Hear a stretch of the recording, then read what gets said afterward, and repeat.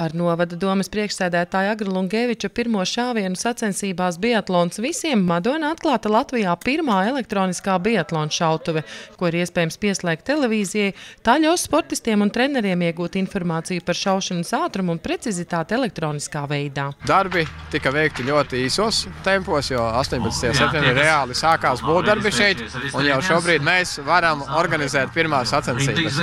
Protams, ir vēl daudz lietas, kas ir darāmas tālāk, lai to visu attīstītu, bet tas pirmais pamats šautavē ir ielikts un darboties ir iespējams. Mēs ieejam pilnīgi citā kvalitātē. Biatlonā mums šodien atklājās jaunā šauta ar elektroniskajiem mērķiem. Es domāju, modernākā Baltijā un jaunākā pilnīgi noteikti.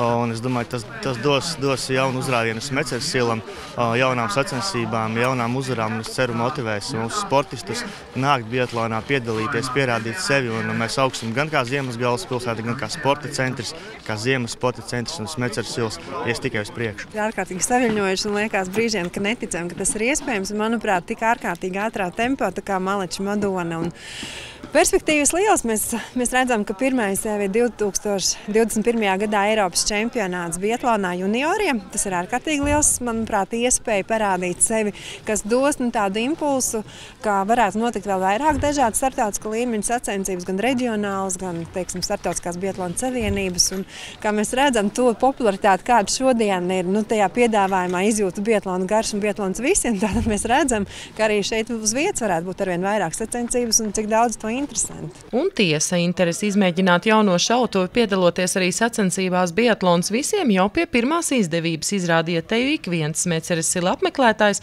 gan profesionāli sportisti, gan vienkārši aktīvā dzīvesveida piekritēji. Šautavē šaut ir interesanti. Vispirms jau turēt ieroci un skatīties, saprast, kur kurš pirksts jāliek, kas tur ar īkšķi ir jāpastum, tad jāatliec atpakaļ, un kad ir jāskatās caur atstiņu, mērķītis jāierauga, vispirms maziņais, pēc tam lielais.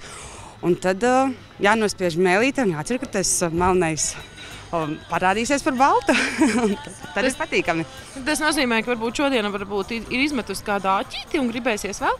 Es nezinu, es jau vairāk nāku meitas pēc, jo viņa nāk trenēties. Domāju, man arī jāpamēģina, kas tas ir, ko viņa dara šeit. Milzīgs prieks, ka šīm sacensībām ir pietiekuši nu jau vairāk kā 260 dalībnieki, kas faktiski ir lielākais biatlona pasākums. Līdz ar to es domāju, ka biatlons ieies vēl jaunā apritē arī ar šo šautuvi būs iespējas vairāk darboties, startēt un ies tikai popularizēsies. Atzinīgi paveikto vērtē arī šautuves rekonstrukcijas darbu finansētāja izglītības un zinātnes ministrijas pārstāvji. Trasa ir tiešām uh, fantastiska.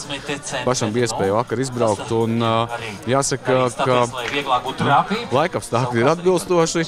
Madona ir īstā vieta, kur tam būt. Un, kā es teicu, nu, man ir tiešām liels prieks, ka biatlonā tas būs arī viens no priekšnosacījumiem, lai, lai tiešām attīstītos, lai jaunieši izvēlētos šo sportu veidu, kas, nu, vismaz padomju gados, cik es atceros, mums bija obligāti jādara. Taču, kā uzsver Geižāns, nedrīkst apstāties pie jau paveiktā, ir jāiegulda maksimāli spēki biatlona attīstībai Latvijā arī turpmāk. Latvija būtu uh, tā viena no valstīm, kurā to varētu un vajadzētu darīt. Ne tikai bobslēgs, ne tikai tāpēc, ka mums tur ir labi rezultāti, jo, kā jūs zinat, mums ir priekšnosacījumi, mums ir, mums ir bāze, kas nav citām valstīm. Uh, ja šeit tādu mēs radīsim, es domāju, ka mums arī šie rezultāti būs uh, daudz labāki un mums būs ar ko lepoties. Tas nozīmē, ka madonieši var cerēt uz jūsu pleca atbalstu arī turpmāk? Pavisam noteikti, ka madonieši var cerēt uz to, ka uh, Latvijas biatlons tiešām nepazudīs no Latvijas sporta kartas un, un, un tiešām, ka Latvijas biatlonam ir pelnījis no valsts puses daudz lielāku atbalstu, kā līdz šim tas ir bijis veltīts viennozīmīgi, to es varu apgalvot. Jāpiebilst, ka līdz šim Smeceres silam tika iegādāta sniega ražošanas tehnika un iekārtas, uzbūvēts pieveceļš bāzei un izbūvēta elektroniskā šautuve. Šogad iecerēts veikt asfaltēšanas darbus, kā arī uzbūvēt tuneli, lai biatlonisti var pat aiziet uz starta vietu un šautuvi nešķērsojot trasi. Sandra Zariņa, Kārlis Kumsārs, Vidzemes televīzija.